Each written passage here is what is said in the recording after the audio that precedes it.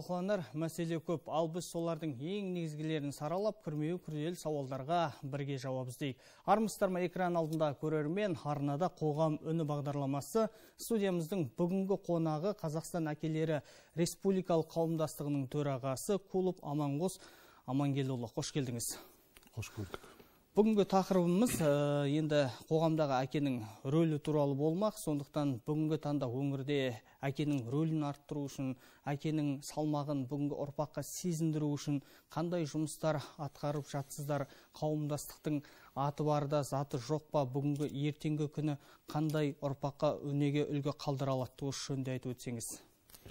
Енді біздің қауымдастық туралы айтып кететін болсақ біздің қауымдастық осы жиырмасыншы жылдың қараша айынан жұмыс қараша айынан бастап жұмыс жасады жасай бастады. Жиырма бірінші жылдың сәуір айынан бастап әділет министрлігі бекітілген өзінің анықтамасын алды яғни заңды түрде тіркелген әділет министрлігімен. Енді біздің негізгі жоспарымыз мына әкелер институтының жұмысын жандандыру және ары қарай жалғастыру. Себебі 2020 жылы ең бақытты ел қорымен саналы әке жобасы өтетін болатын. Сол жобаға қатысып көптеген мәселелер талқыланды әке туралы. Осы қоғамдағы жанұядағы әкелер статусы түсіп кеткендіктен осы әкенің рөлін көтеру мақсатында көптеген тренингтер өткізді. Соның арасында жанұядағы бала мен ата ана мен бала арасындағы қатынас сосын жаңа ел мен ер мен әйел арасындағы қарым қатынас барлығы осындай тренингтерден өтіп елдегі болып жатқан мәселелерді естіп отырып осындай қауымдастық құруға жаңа белсенді әкелер болып атсалыстық енді ойласып бел байладық иә. Енді қазіргі таңда осы біздің еліміздің түкпірінде әрбір облыста өзіміздің әкелеріміз бар. Алматы қаласында орал қаласында түркістан облысында петропавл павлодарда барлығында жасап жатыр. Енді бұл жерде кілең қарапайым белсенді әкелер өздеріңіз білесіздер біздің елімізде әрбір үшінші жұп ажырасу үстінде суицид бойынша балалар суициді бойынша алдыңғы қатарда тұрмыз. Сонымен қатар жас өспірімдер арасындағы құқық бұзушылықты жаңа алдыңғы қатарларда келе жатырмыз. Соның барлығын жаңағы енді азайту енді жоқ қыла алмаймыз деп айтамыз бірақ азайту мақсатында қазіргі таңда осы мектеп қалаларында тренингтер жасап мектептерде әкелер ұйымдарын құрып осы алдағы уақытта әкелермен бірге жұмыс жасаймыз. Бір сөзіңізде әкелер қауымдастығын құрудағы мақсатымыз әкенің қоғамдағы рөлі төмендеп кетті дедіңіз статусы. Қандай дәлел келтіре аласыз? Енді себебі қазіргі таңда әкелердің өзі жанұядағы жаңағы асыраушы болып келеді жұмысқа кетеді. Бірақ дегенімен бала тәрбиесіне өте көп уақыт бөлмейді аз ғана уақыт бөледі. Себебі таң, таң атпай кетеді. Кешкісін келеді. Мен жұмыстан шаршап келдім. Жаңағыдай баласы әкесіне келіп бір қандай да сұрақ туындаса мамаңнан барып сұрашы анаңыздан барып сұрашы деп жаңағыдай анасына сілтеп жібереді. Яғни бұл жерде бала мен әке арасында ешқандай қарым қатынас жоқ. Кейбір жанұялар бар. Жаңағыдай сұрап келсе мамаңнан барып сұрашы балам ау мен әке жаңағы жұмыстан шаршап келіп отырмын деп жаңағы бір айтады екі айтады. Соны сондай өте көп жаңағыдай күнкөріс сананы күнкөріс иә. деп айта аламыз ба? Иә ау. Сананы тұрмыс билейді деп айта аламыз ба осы арада? Сананы тұрмыс билейді деп айта алмаймыз себебі дегенмен бұл жерде балаға екі жақты да жауапкершілік керек қарым қатынас керек. Баланың ішкі ойындағы дүнияны білу керек. Себебі осындай бір ата ана ата ана мен бала арасындағы қарым қатынасты тренинг өткен кезде мысал ретінде келтірді. Сол мысалды мен өз жанұямда пайдаланған кезде қазіргі таңда менен балаларым бізден менен және анасынан ақыл кеңестерін сұрайды. Әке мен былай істесем қалай болады? Әке мен шашымды қидырсам сіз осыны жақтыртасыз ба деген. Ол қалай болды? Жаңағыдай үш баланы жинап алдым. Енді күндіз пандемияның кезде өздері қалды. Содан үйде ойнап жүріп жаңағыдай бір үйдің ішкі затын сындырып алады. Содан өздеріндегі жүрегінде қорқыныш пайда болып жүр ата анамыз біліп қалмаса екен деп. Содан кейін сол тренингтен кейін балалар жинап алып осылай балаларға түсіндіріп айтқан кезде балалар өздері ашыла бастады. Әке біз осындай жағдай білдіріп қойып едік. Сіз маған ренжімейсіз ба? Бізге ренжімейсіз ба деп. Енді қалай сындырып алдыңдар деп едік өздері жағдайын айтып түсіндірді. Сындырған заттарын жоғарғы бір чердакқа тығып қойған. Соны бірге сол бүлдірген затты балалармен бірге істедік. Содан кейін балалар бізге уже жаңағыдай көңіл өз көңілдерін өз ойларын аша бастады. Қазіргі жағдай ондай мен енді кейбір жанұяларда бар шығар бірақ жоқ деп те айта аламын. Себебі өз көзіммен көремін енді жүретін болғасын көретін болғасын осындай жағдайлар көп. Сол себептен балалардың бетін қақпай өсіру керек пе? Қалай бетін қақпай өсіргенде бұл жерде енді қарым қатынас деп айтып отырмын ғой. Алып беретін жағдай болғанда да оның пайдалы я зиян жағын айту керек. Пайдалы мысалы кітап алып беру ол өзіңізге жақсы оқуға жақсы яғни сауаттылығыңызды ашады өз ойыңызды ары қарай жеткізуге болады. Ал мысалы кейбіреулер бар телефон алып бер дейді тәтті алып бер дейді оның да зиянды заттарын алу керек. Айта отыру керек. Соны айтайын деген аудандарда қандай жұмыстар жүргізесіздер? Ауыл аймақта аралайсыздар ма? Енді биылғы жоспарымыз осы қала мектептерін қамту алла қаласа келесі жылдары осы ауылға ауылдық шалғайлы жерлерге шығу. Осы айбек деген ініміз бар осы қарабұтақ ауданының әкесі ол қазіргі таңда сол жақта жұмыс жасап жатыр. Осы әкелер клубын құрып былтыр қыс мезгілінде хоккей ұйымдастырған. Енді жаймен деп жүріп жатыр қазір. Себебі ақпараттандыру дейміз ғой қазіргі таңда. Ақпараттандыру мәселесі де өте аз жетеді. Енді алла бұйырса осы қазір жоспарлар құрып отырмыз. Осы әке мен бала арасындағы сайыстарды конкурстарды көп өткізу. Былтыр биыл екі мың жиырма бірінші жылы ең бақытты ел қорымен ұйымдастырылған отбасымен тал отырғызу несі болған? Акциясы. Сол кезде осы қалалардың мектебімізде осы тал талдарды әкеліп беріп әкелер мен балалар өздерінің жаңағыдай мектепте мектеп қабырғасында мектеп ауласында өздерінің талдарын отырғызып қазір сол талдарды өсіруде қадағалауда өздері қарап өсіріп жатыр. Сонымен мына жанұя күніне орай спорттық эстафеталар өткіздік. Қала мектептерімізде енді көрініп жатыр. Әкелер өздерінің ризашылығын білдіріп айтып жатыр. Тренинг өткізген кезде өздерінің ой пікірлерін айтады. Сол ой пікірлерін біз ары қарай жоғарыға жеткізіп міне біздің әкелер осылай айтып жатыр. Үкіметтерге сол жеткізу мақсат болып табылады шындығында сіз басқарып отырған тізгіндеп отырған қауымдастықтың көп естіп жүрген жоқпыз. Әкелермен бірге жұмыс істеп жүргендігін отбасындағы кешеуілді мәселелер шешіп жүргендігін. Бұл неліктен? Жұмыстың аздығынан ба әлде өзіңіз айтқандай ақпараттың жетіспеушілігінен бе? Бұл жерде енді ақпараттың жетіспеушілігі енді біз бар ақпаратты өзіміз жеткізіп жатырмыз. Алла қаласа мына осы біздің ақтөбе қаласының ішкі істер департаментімен кездесіп осы құқық бұзушылықтың алдын алып алдын алу мақсатына осы бұрынғы днд дейді ғой добровольная дружина. Соларды да енгізгіміз келіп отыр. Себебі қазір қай жерге бармасақ құқық бұзушылық тәртіп бұзушылық өте көп. Сондықтан да әкелерді осылай жаңағыдай көмектесу мақсатында ақпараттандыру мақсатында ертең бұйырса тағы мына общественный контроль деген бар. Соларға сол бірге әкелермен бірге рейдтерге шығару яғни мысалға баға азық түлік бағасын қандай болып жатыр қандай болып сату сатылу керек қадағалау мақсатында осы әкелерді біз алып жұмылдырып өз көздерімен көрсетіп көрсетіп яғни өз мектебінің әкелерін түсіндірме жұмыстарын ары қарай жалғастырады деген. Өңірде қанша отбасына осы күнге дейін көмек көрсеттіңіздер?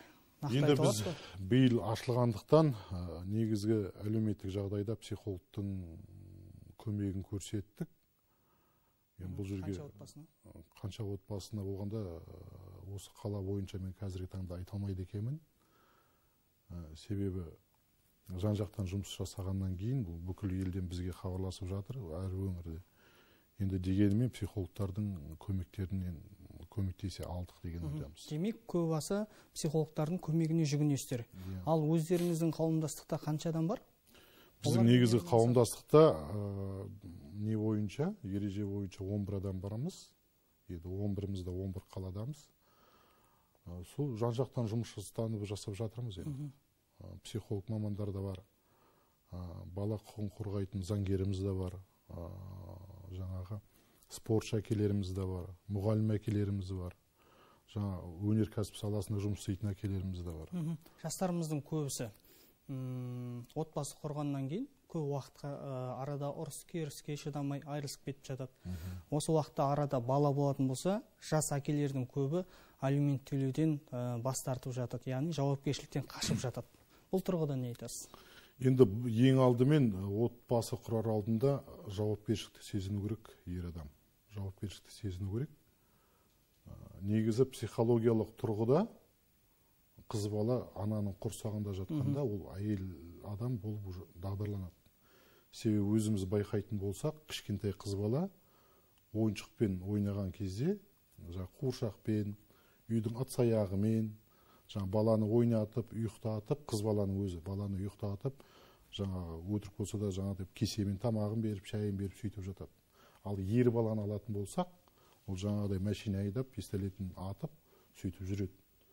Негізі әкелік сезім балаға сол үйленгеннен кейін бала ұстағаннан кейін балаға көп уақыт бөлгеннен кейін келеді да.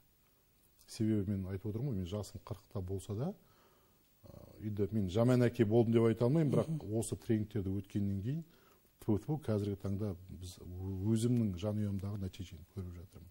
Енді сол нәтижені көре отыра мен істеген затты неге басқа әкелерге көрсетпеске деген ойдамын ғой. Жасалып отыр осы ана көрген тон пішер ә, тон пішер әке көрген оқ жонар деген қағидамен өсті бабаларымыз. Қазіргі таңда әкесіз өсіп жатқан қаншама бала бар. Оларға әкенің мәртебесін сезіндіру үшін қандай қадамдарға бару керек? Енді бұл жерде әрине ә, әке сезімін сездіру үшін бұл жерде әке ажырасып кеткен жағдайда өзінің баласы бар екенін баласына тәрбие беру, беру керек екенін ұмытпау керек. Ол жаңағы әйел мен ер адам өзінің проблемаларын шешетін болса бұл жерде баланың шешімін жаңағы проблемасын шешіп отқан жоқ. Зардап шегетін негізі бала. Сосын қазір де айтады. Неге осы ажырасқан кезде әйелдің кесірінен болатын болса неге әйел жағына жаңағы шектеу қоймайды деп неге әйел адам төлемейді деп. Енді бұл тұрғыда бұл ежелден қалыптасып келген зат. Енді бұл мәселені де қазіргі таңда қарау үстінде Ә, себебі жаңағыдай проблемалар жалғыз біздің елде емес. Бүкіл осы кезінде СССР мемлекеті болған 15 елде де бар. Бірақ олардың бізге біздің жағдайға қарағандағы олардың мәселелері қазір едәуір шүкір. Ер адам ер адам болып не істейді бірақ сол жаңағы қырғызстан елі мен беларусь ресей елдерімен қазір сөйлесіп жатырмыз. Олар өздерінің мәдениетіне өздерінің менталитетіне байланысты осындай е, бір методичка дейміз ғой соларды шығарып жатыр. Соны біз қазіргі қазіргі таңда алып жан жақпен ақылдасып келісіп соны өзіміздің ұлттық құндылықтарды жанұядағы құндылықтарды бәрін насихаттау мақсатында қазір осы ә, тренингтерді осы методичкалерді барлығы жазылып жатыр. Ұлдың ұяты әкеге қыздың ұяты шешеге дейді ғой. Баланың тәрбиесіздігіне кім жауапты әке жауапты ма ана жауапты ма? Немесе мынандай да тағы бір сөз бар ғой анадан ала да туар құла да туар қан да туар қара да туар деген. Бұл жерде мүмкін оларды кінәлаудың да керегі жоқ шығар. Бұл жерде енді бала тәрбиесіне ата әке де ана да жауапты. Қай не болмасын. Қазір енді біздің әкелеріміз x заманның дәуірі біздер қазір y заманның дәуірі. Қазір қазіргі таңдағы балалар интернет жаңағы смартфонның. Енді бұл жерде заманның дамулығы ғой біздің кезімізде мысалы интернет болған жоқ. Біз көшеде жаңағыдай асық атып ләңгі теуіп өскен балаларымыз. Ал қазіргі балдар интернеттің саласында осы телефонның арасында. Ол телефоннан яғни қандай қандай да канал болмасын өздеріне алып алады. Олар себебі губка сияқты. Өздеріне алып алады. Сығып алсаң яғни жанұядағы қарым қатынас туралы сол сөйлесіп баламен неғұрлым балаға көп көңіл бөліп баламен сөйлесетін болсақ сол кезде ол жаңағы көргендерін айтып қайсысын болмайды қайсысын болатынын яғни ажыратып жаңағы сіңіріп алған керек емес заттарды ішінен алып тастау керек та. Сондай көп уақыт өткізу керек. Сол тағы да осы жерде бір айтып кететін жағдай. Бұрын енді мен өзім вахталық әдіспен жұмыс жасаймын. Енді вахтада жүргенімен де он он бес минут болса да кешкілік уақыт балдарыма көңіл бөліп жаңағыдай сабақтарың қалай деп вахтадан келгеннен кейін бір күн өтеді уже келесі күні бізде қарым қатынас он бес күнде қандай жағдайлар болды сенде? Кімге ренжідің кім ренжітті? Сен неге қуанышты болдың? Мектеп тарапынан қандай саған ескертулер айтты. Соның барлық бала маған айтып береді. Сосын сол жерде сол сұрақтарды екеуміз талқылаймыз. Үш баламен үш баламен талқылап бәрін істейміз қазір енді жаңағы маман сосын бұл жерде тағы да әкелеріміз ата аналарымыз мамандық таңдауда көп қателесеміз.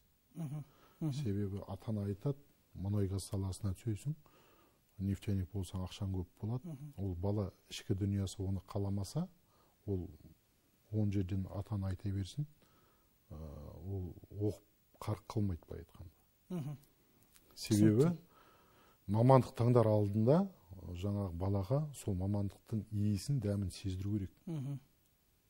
Ол ұнайтын болса мұнай газ саласына бір енді иісі осындай газ деген осындай жұмысы осындайды бәрін айтып түсіндіру жұмыстарын жүргізу керек. Қазір енді барлығы жаңа автоматизация деп жатыр ғой біздің. Иә. Өмір негізі қазір құбылмалы да бүгін автоматизация ертең робототехника болып кетуі мүмкін. Робототехникадан кейін тағы да, тағы да бір басқа нелер болуы мүмкін. Түсінікті. Бұрын аналарымыз балаларына ә, әкеңнен сұра алдымен әкең айтсын тоқетерін жауабын шешімін әкең шығарсын деді. Ол құнанбайдың заманынан бері ә, дәлел. Қазіргі таңда әкенің рөлі қандай? Аналарымыз осы мәртебені сезіндіре алып жатыр ма? Енді мана айтып кеттім ғой кезінде мысалы ауылда өскенде әкеңнен сұра деп действительно әкең келе жатыр дегенде біз қорқатын едік. Әкең келе жатыр әкең жұмыстан шаршап келе жатыр. Тынышталыңдар көшеге барып ойнап келіңдер сосын әкелеріңмен жаңағы әңгімелесіп сырласыңдар. Қазіргі таңда айтып отырмын ғой әкелер қазір асыраушы ретінде болып кетті да. Енді бұл жерде ә, заманында бар шығар бірақ кейбір әкелеріміз бар. Мен жұмыстан шаршап келдім дейді да жаңағыдай жатады. Ертеңге тағы барады. Ал бірақ ә, жұмыстан келе жатып сыра ішуге немесе баняға түсіп келуге жұмыстастарымен оған уақыттары болады. Ал өз әрбір мысалы сен екі ақ күн екі күн демалыстары бар.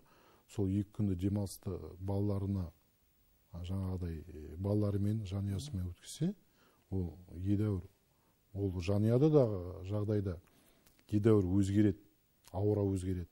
Балдардың арасындағы қарым қатынас әкеге жақын болады. Сондай бір жаңа айтып кетейін. Сол тренингтің салдары ғой бәрін осыны айтып отқан. Ержан мырза. сөзіңізді бөлейін осы сұрақты қайта қояйын. Сізге ә, жаугершілік заманда әкелеріміз ер азығы түзде деп саятшылықпен аңшылықпен айналысып немесе жаугершілік отанын жерін қорғап үйінде болмайтын. Бірақ ананың айтқан тәрбиесімен балаларымыз ә, бабаларымыз ұрпақтары ғой ә, әкенің ә, рухын мәртебесін сезініп өсті. Мүмкін осы арада кінә әйел азаматтардан шығар. Енді бұл жерде мен нақты айта алмаймын. Қай жағынан деп әйел адам ба ер адам бола ма? Бұл енді адам басынан өткеннен кейін бір мәмілеге келетін шығар. Себебі айтады ғой ешқандай шешілмейтін шаруа болмайды. Сондықтан енді бұл жерде қарау керек талқылау керек қандай екенін. Түсінікті. Өзіңіз айтып отырсыз отбасында мен балаларыммен осы қауымдастықта берілген арнайы бір қағидаларды қолданамын деп. Неге тренингтерде қолданбасқа неге басқа адамдарға осы дүниені үйретпеске? Жоқ енді қазіргі таңда айтып жатырмыз. Мен өз басымда біздің қалада тағы да еркін деген бауырымыз бар. Мұғалім ол да айтып жатыр қазір екі жақта жұмыс жасап жатырмыз. Себебі мектептер көп болғасын мен кей кезде вахтада боламын енді өзінің әр адамның өзінің негізгі жұмыстары бар. Мен вахталық әдісте жасаймын еркін жаңағы мұғалім. Сол екі ортада әйтеуір ел үшін жаңағы әкелердің ой санасын өзгерту мақсатында осының барлығын айтамыз. Біздің топтамамыз бар. Жаңа өткен алдында бізге берген психологтардың өткен тренингтердің бүкіл ақпараттары бар құдай аллаға шүкір. Сол ақпараттарды біз әкелерге ары қарай жалғастырып жатырмыз жеткізіп жатырмыз. Рахметімді айтып жатқандары бар. Кейбір әкелер ойлап қалады сендер бізге ақыл айту үшін келдіңдер ма деп. Жоқ ондай жағдай емес біз ақыл бермейміз біз бағыт бағдар береміз. Мысалы жанұяда осындай келеңсіз жағдай болса осылай істеу керек осылай істеу керек деп. Кей кезде мен түсінбеймін. Жанұяда жағдайлар бола тұра ұрыс керістер жаңағыдай балалардың нелері болып тұрады жаңағы ата анамен арасындағы проблема болып тұрады. Олар психологқа бармайды да жанұялық психологқа бармайды бірақ жаңағыдай тойға олар баруға дайын тұрады. Қазіргі психологтың көмегіне жүгінетін адамдар өте аз. Екі жастың ортасына есі кеткен түседі дейді ғой. Мүмкін сіздің қадамдарыңызды кейбір жанұялар осылай қабылдайтын шығар. Ә, бір қорғану немесе белгілі бір талаптарды сақтау керек шығар сіздерге. Қалай ойлайсыздар? Енді бұл жерде не істеген талаптар сақтаған кезде біз осы тренингтердің барысында кейбіреулер бізге шығып жатады кейбір әкелер кейбір аналар бізге осылай қалай болады екен деп. Біз жаңа өзіміздің осы қауымдастықтың психологымыз бар. Сол кісіге телефон шалып көмегіңді көрсетші бер. Осысы жанұяда осылай болып жатыр. Ақыл кеңес беріп жібер деп жаңа өзіміздің немізді айтамыз. Сосын кейбір қызметтеріңіз ақылы түрде. Жоқ жоқ жоқ жоқ. Бәрі былай общественное начало дейміз ғой. Өз немізбен оны ешқандай біз ешкімге ақы алып жатқан жоқпыз. Беріп жатқан тренингтеріміз өзіміздің уақытымызды бөліп осы өзіміздің қауымдастықта өзіміздің алған тәрбие жаңа ақыл кеңестерімізді басқа әкелерге жеткізу мақсатында на общественных началах дейміз ғой сондай жұмыстанып жатырмыз. Сізбен сұхбат құрар алдында көрермендердің пікірін білген болатынбыз. Өкінішке орай көбісі сіздердің қауымдастықты білмейді екен. Тіпті тренингтер өтіп жатыр дегенді де естімеген. Бұл жөнінде не айтасыз? Енді бұл жерде біз қазіргі таңда мектептермен тығыз қарым қатынаста жұмыс жасап жатырмыз. Біздің қалалық бөлім басқармасымен меморандум отырдық бар. Қазіргі таңда осы қателеспесем қараша айында біздің шығармашылық академиясында әкелі жаңа әр мектептің әкесімен сосын жаңағы тәрбие жөніндегі орынбасарларымен кездесу өткен. Ол жерде жаңа менің әкем жобасының автор жаңалық ақаш біздің қала әкімінің орынбасары көпенов айбек мырза сосын жаңағы беделді азаматымыз ауған соғысының ардагері марат ағамыз болған қойлыбаев. Сонда отырып ақылдасып кеңесіп әкелердің өз түйіндегі жүрген дауыстарын естідік. Олар қарсы емес жұмыстануға бұлар проблеманы біліп тұр. Біз мына елу үшінші мектепке барған кезде осындай тренинг жүргізген кезде сол әкелердің өздері айына үш айда бір кварталына бір рет осындай тренингтерді бізге жасап тұрыңдаршы деп өз ниеттерін білдіріп жатыр. Қай мектепке барайық өздерінің жаңағы білім саласындағы болсын жаңа өзінің жанұясындағы сала жанұясындағы проблемаларын айтып жатыр біз солардың шеш талдау жаңағы солардың проблемаларын ести отырып өздеріміздің келесі топтама тренингтерімізді ары қарай беруге дайынбыз. Яғни біз сол тренингтердің арқасында осылай әкелерді жинап алла қаласа келесі жылдары осы аудандарға шығу. Осы бүкіл ақтөбе облысы бойынша қамтып әкелерімізді ары қарай жұмыстандыру яғни жаңа кешегіде еліміздің президенті қасым жомарт кемелұлы айтып кетті ғой. Осы үкімет пен халық арасындағы көпірді ақпаратты жеткізетін деңгейге жетіп осы біздің еліміздің болашағын жаңағы суицид құқық бұзушылықты болдырмау мақсатында жұмыстану.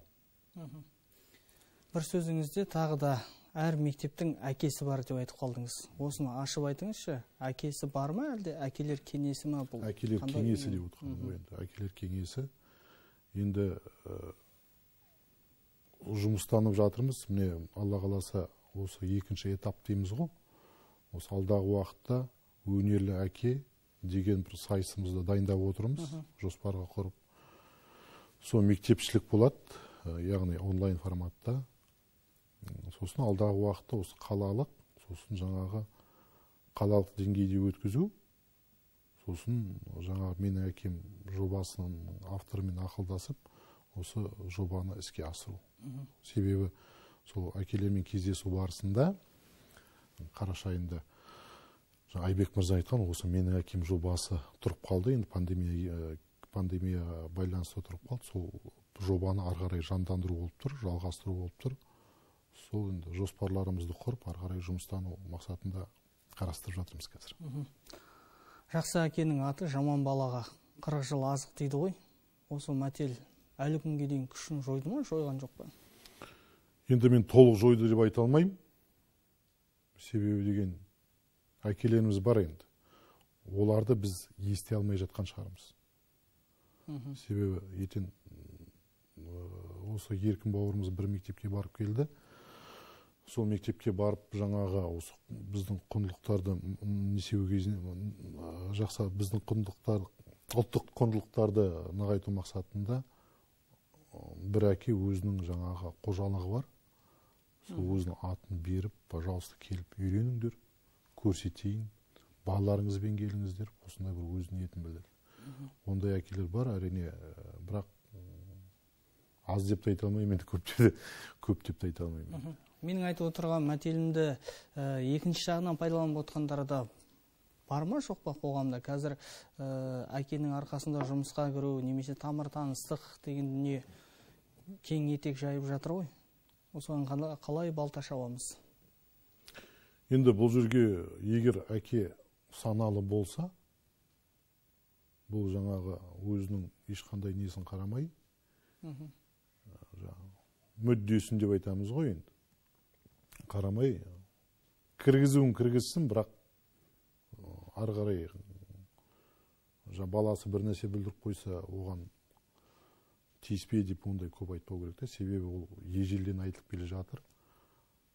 Медресеге берген кезде еті менікі сүйегі еті сіздікі сенікі еті менікі сүйегі менікі деп айтқан. Сол қағидамен негізі ұстану керек. Мен де мұғалімдерге айтамын сүйегі менікі еті сіздікі қалай тәрбиелейсіз? Қалай тәрбиелейсіз мен шаруам жоқ. Ұрасыз ба соғасыз ба өзіңіз білесіз. Бірақ білімді сапалы бала болып шықсын. Ер адамдардың көбісі отбасын тәрбиелеу үшін енді кез келген жұмысқа бара береді ғой. Өзіңіз айтып отырғандай уақытылық методпен де жұмыс істеп жатқандар бар күн тәртібімен. Енді 15 жыл 20 жылға дейін бұл салада жұмыс істеп келе жатқандар бар. Ертеңгі күні әке мен баланың арасында бір алшақтық туындамай ма? Жоқ туындамайды деп ойлаймын. Себебі егер әке дұрыс бағытта жүрсе өз баласымен қазіргі таңда қарым қатынаста отбасының жылулығы мол болса ондай болмайды.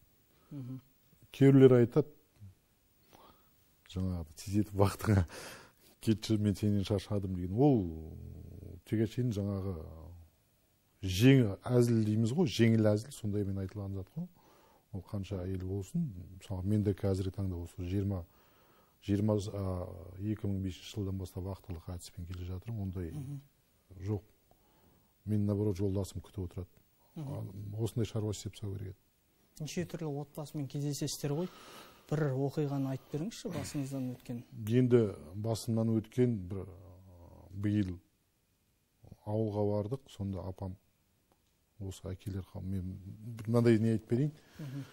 Биыл осы ауылға барған кезде жаңа осындай қауымдастықтың төрағасысың жақсы деп жаңағы бір әңгімесін айтып берген. Сонда осылай жас жанұямыз дейді. Сонда жолдасына ренжіп өзінің ата өзінің ата анасының үйіне келген ғой кешкі уақыт. Сосын әжеміз жаңағы қызына ұрысады апама. Бар үйіңе бар қазір әкең менің мазамды алады менен сұрайды не істеп жүр деп. Сөйтіп не керек? Сөйтіп отқанда жаңағы апам ұйықтап қалады. Ертеңгісін тұрады да әжеміз жаңағы бір үйіңе бар енді болды деп әкең ұрысып жатыр жаңағы сөйлеп жатыр сонда жаңағы апам кетіп қалады қақпа жабық тұрады үйдің үйді де үйдің есігі де жабық тұрады. Сосын қайтып келеді оған енді апама енді жаңағы не ғой былай айтқанда плюс қой енді. Сылтау бар деген сияқты үйдің кілті жоқ жаңағы не деп. Содан әкесі сұрайды екен апамнан атамыз сұрайды неге келдің? десе жаңағы кілтті тастамай кетіпті деп. Содан атамыз ана қақпадан секіріп есікті бұзып ашып беріп қақпаны ашып беріп қызына келіп айтады ғой кілтті басқа жерге тастап кетіпті деп. Сосын барса есікті жаңағыдай құтты бұзған қақпаны ашқан сондағы әкелерімізді мысалға сана сезімін айтамын да саналы екен саналы екен. Мысалы айқай шу тудырмай айқайламай ұрыспай жаңағыдай бір сөзбен кілтті басқа жерге қойып кетіпті ғой деп не істеп отыр. Енді тағы да бір жағдай бұл жерде біз енді жаңа айтуға ұмытып кетіппін. Қазіргі қоғамда жалғыз басты әкелеріміз бар бала тәрбиелеп отқан инвалид балалар тәрбиелеп отқан балаларымыз бар. Вот сол әкелерге өте көп бір көмек керек. Сол жаңа жалғыз басты әкелер бала тәрбиелеп отқан жалғыз басты әкелермен сөйлескен кезде олардың негізгі былай проблемалардың бірі осы мектеп бітіргеннен кейін өз баласын ары қарай оқуға түсіру. Оларға бір үлкен бір қадам болып есептеледі. Қорқынышпен келе ма сондай бір осы екі үш әкемен сөйлестім осы проблемаларыңыз. Ой мен проблемам жаңағыдай. Баламды оқуға түссе бір қалаған маман иесіне сол аман есен оқып бітірсе мен жаңағыдай нем жоқ дейді да енді арманым жоқ дейді. Әрине бұл жерде енді әйел болмағандықтан жаңағы шаңырақтың берекесі болмайды ғой. Он жерден әйел адам жақсы болсын жаңағыдай жаман болсын енді әйелмен ақылдасып жасалған зат ол сапалы тиімді да. Ал егер ер адам не істейтін болса жаңағыдай шешім қабылдайтын болса. ол әрине мың ойланып мың толғанады. Себебі ер азаматтарда психологиялық тұрғыда көп эмоционалды емес. Әйел адам көп эмоционалды. Мысалға бір ерлі зайыпты мысалы бір отбасыңызбен ресторанға барып көріңіз. Мысалы сұрайтын болса қалай барып келдіңдер? Ой барып келдік тамақ ішіп шай ішіп келдік та болдық қайттық деп. Ал бұл жағдайды әйел адам оны он есе қылып айтады да біз кеше мен жолдасыммен ресторанға бардым кіргенде маған есікті ашып берді отырайын деп жатқанда жаңа орындықты қозғап берді ас мәзірін өзі таңдады маған да ұсынды деп. Бәрін былай айтып бере аламын жаңағы айтқан әңгімеңізге оралайықшы. Мүмкіндігі шектеулі балаларды асырап отқан шынымен де әкелер бар жалғыз басты әкелер осы әкелердің асыраушылардың жан айқайын жиналыс барысында немесе өздеріңіздің пәрмен беретін басшылықтарыңызға ұсыныстарын жеткіздіңіздер ме өтініштерін? Бұл жерде өтініштерді жеткізіп жатырмыз. Әлде де жеткіземіз деген ойдамыз. Себебі қазір осы менің әкем әлеуметтік жобасын алла қаласа біз төрт блокта жасағымыз келіп отыр. Сол бір блоктың ішіне осы жалғыз басты әкелермен инвалид балаларды тәрбиелеп отқан әкелерімізге тренинг жасау.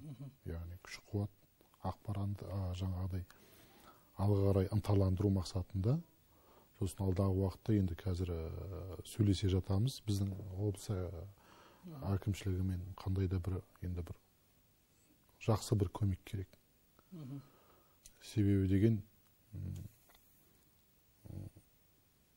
қазір өзі айтып отырмын ғой ақпараттандыру өте аз. Бұл жоба кімнің идеясы? Сіздің идеяңыз ба әлде негізі қауымдастық құрған идея ма? менің әкем деген әлеуметтік жобасы ол жаңалық ақаш деген бауырымыз бар.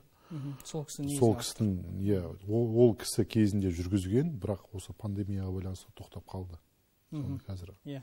жұмыстандыру мұрындық болып отырған кім? Мұрындық болып отқан бұл жерге енді бұл ә, мұрындық болып отқан ең алдымен өзі өзі соны ұйымдастырып өзі қаржыландырып отыр. өзі, қаржыландырғанда енді бұл жерде спонсорлар дейміз ғой. Спонсорлардың көмегін көрсеткендері бар. Сол спонсорлардың арқасымен осы енді өзінің күш жігерлігімен де айтуға болады. Өзінің күш жігерлігімен өткізген кезінде. Жаңа бір сұрағымда қойдым ғой. Елді мекендерді араладыңыздар ма деп.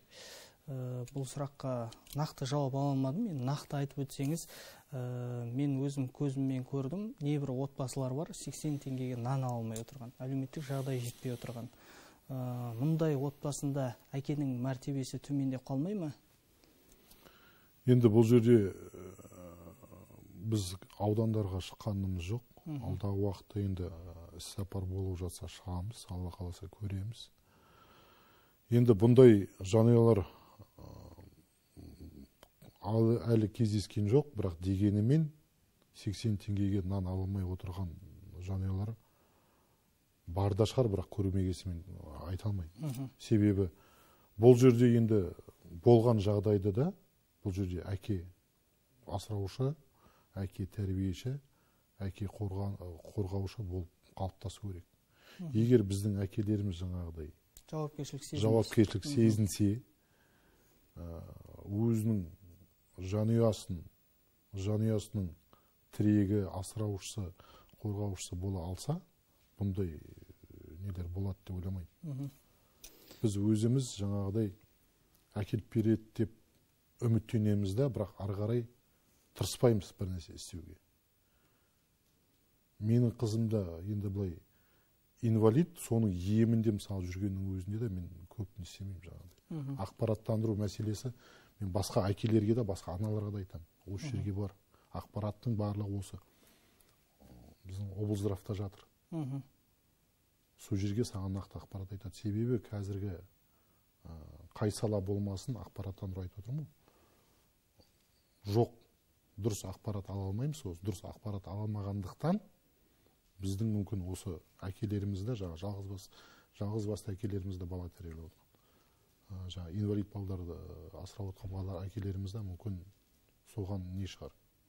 Ақпарат дұрыс ақпарат болмаған соң олар да қолдарын бос ұстап отырған шығар. Қауымдастықтарыңыздың құрылғанына бір жарым жылдан бір жылға жуық уақыт болды иә? Енді қателеспесем.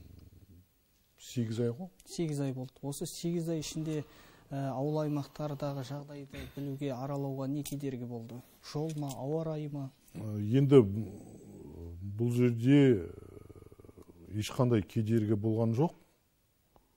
Ең алдымен өзіміздің алдына қойған мақсаттарымызбен жұмыс жасадық. Бірақ алдағы уақытта бұйырса аралаймыз деген сенімдеміз. Себебі енді жалғыз біз қала бойынша емес әкелерді бүкіл облыс бойынша оятуымыз керек. Сана сезімдерін айтып түсіндіріп түсіндіру жұмыстарын жүргізуіміз керек. Сондықтан да алдағы уақытта енді болады деген сенімдемін. Сөзіңізге қарағанда біздің облысымызда сонда әкенің ә, мәселесі көп пе?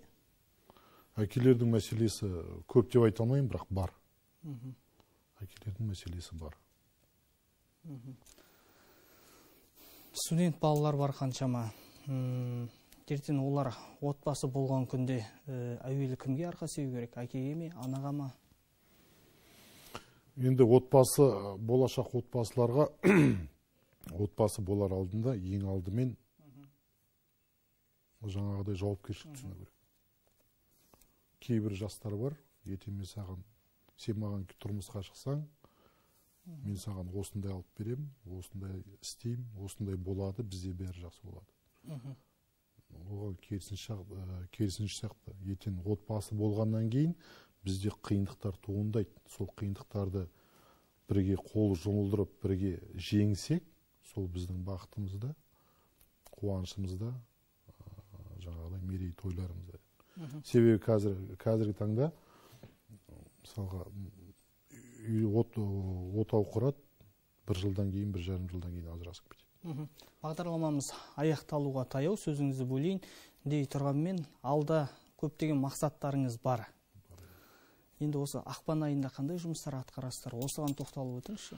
Ақпан айында алла қаласа осы мектепішілік ә, сайыстар болады. Мектепішілік сайыстар болады. Мерейлі әке деген отбасы жаңағы баласымен онлайн түрде сайыс болады. Сосын енді сол сайыстың жеңімпаздарын ертең алла қаласа қалалық деңгейдегі сайыстарға шығарамыз.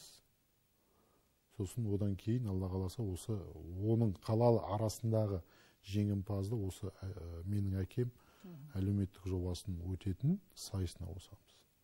Сосын сол жаңағы ақпан айында өз әкелерге балалармен бірге өз қолымен жасаған бұйымдарды көрмесін жасаймыз. Сол көрмелерді бұйырса алла қаласа осы мамыр айында өтетін алла қаласа енді пандемиядан бәрі алыс болсақ сол осы әкелердің өз қолымен жасаған бұйымдарды осы көрме қылып шығарғымыз келіп тұр.